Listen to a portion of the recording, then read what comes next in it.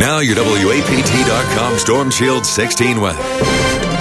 Hey, before I give you the weekend forecast, look at these record low temperatures Friday morning across the region. You know, snow cover up in there in North Mississippi, 8 degrees in Greenwood. That breaks the record of 16. Greenville had 10, Vicksburg 17.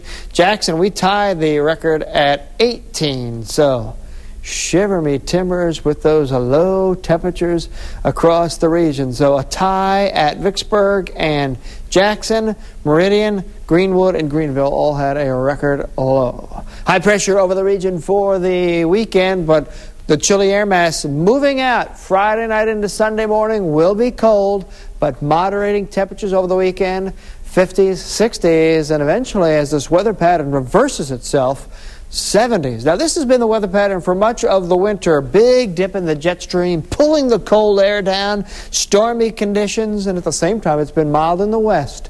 This is what the weather pattern's going to do. It's going to swap sides. Cold and stormy weather shifts to the west. The jet stream lifts up in the east in mild conditions. It looks like this could last for a while, as it does look like it is a new weather pattern. 57 on Saturday. Look at those 60s. By the time we get to the second half of next week, looks like 70s are possible.